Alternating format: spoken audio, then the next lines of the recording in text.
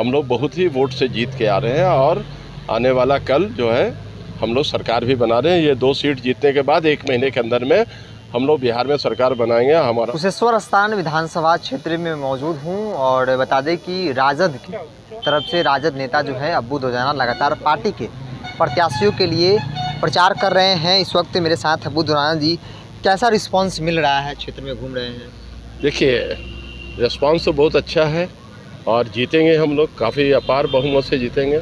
और हम लोग, हर पंचायत में हम लोगों की जीत है। जिस रफ्तार से हमारे कार्यकर्ता काम कर रहे हैं, सारे एमएलए लोग आए हुए हैं और सारे लोग वर्क कर रहे हैं। और उस वर्क का नतीजा ये निकल रहा है कि हम लोग काफ़ी मतों से जीत रहे हैं।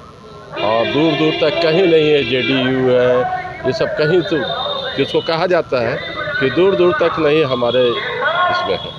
एक सवाल है, लगातार क्षेत्र आप घूम रहे होंगे। आपको क्या समस्याएँ दिख रही है? जो जटिल समस्याएँ हैं। देखिए, जो भी पंद्रह साल ये सरकार रही है, सबसे बड़ा समस्या ये है कि किसी भी पंचायत में जाने का रास्ता नहीं है। पंद्रह साल में ये गवर्नमेंट जो थी, जो भी यहाँ के जो एम रहे हैं, और जो बिहार सरकार के जो मुखिया हैं, उन्होंने भी कई ठो जगह कमिटमेंट किया था कि यहाँ पर रोड बना देंगे, ये बना देंगे, जो आज तक किसी पंचायत में एक रोड तक नहीं है। जो हम लोग रोड पर गाड़ी लगा देते हैं मेन और उसके बाद हम लोग पैदल नाव से जाते हैं। ये स्थिति, भयावह स्थिति है। इस स्थिति को देखते हुए हमें लगता है कि पंद्रह साल में कुशेश्वर स्थान में कोई काम नहीं हुआ। और इसी का नतीजा है कि जो यहाँ की जनता, जो उमड़ी हुई है आरजेडी के साथ, आरजेडी के कैंडिडेट को भारी बहुमत से जिताएगी। अल्पसंख्यक समुदाय की बात कर लीजिए, अच्छी खासी वोट है, आप भी घूम रहे हैं। क्या लगता है इस बार बरकरार रहेगी? हाँ इससे कि माइनॉरिटीज़ का जो वोट्स है ये आरजेडी के साथ है। और वो वोट जो है पूरी फुल्ली बरकरार रहेगी और वो बरकरार क्या कि पूरी फुल स्टैगनेट है। चिराग पासवान भी घूम रहे हैं। देखिए उनके बारे में तो हम लोग नहीं बता सके आप भी जान रहे हैं चिराग पासवान की क्या स्थिति है।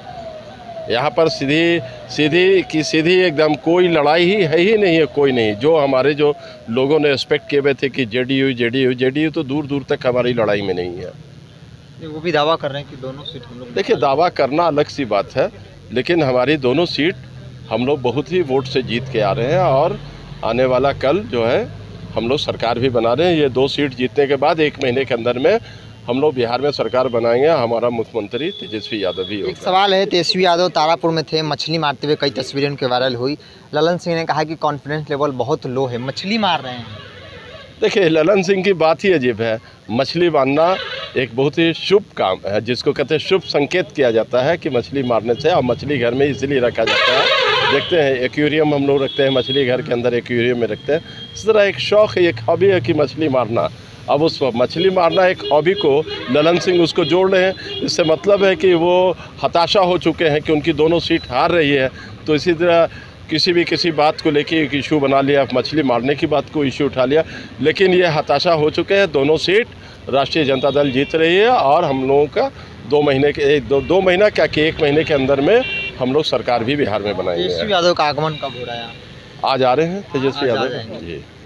तो बिल्कुल अब्बू दुजानी थे। तमाम नेताओं को राजद आलाकमान की बात कर ली जाए तेजस्वी यादव की सभी लोगों को जिम्मेवारी और जो जवाबदेही है वो तय कर ली गई है और सभी लोग पंचायत की तरफ़ कुछ कर गए हैं, अपनी जिम्मेवारी और जवाबदेही को तय करने में लगे हुए हैं। फ़िलहाल के महिला हेडलाइंस प्यार के साथ, नमस्कार।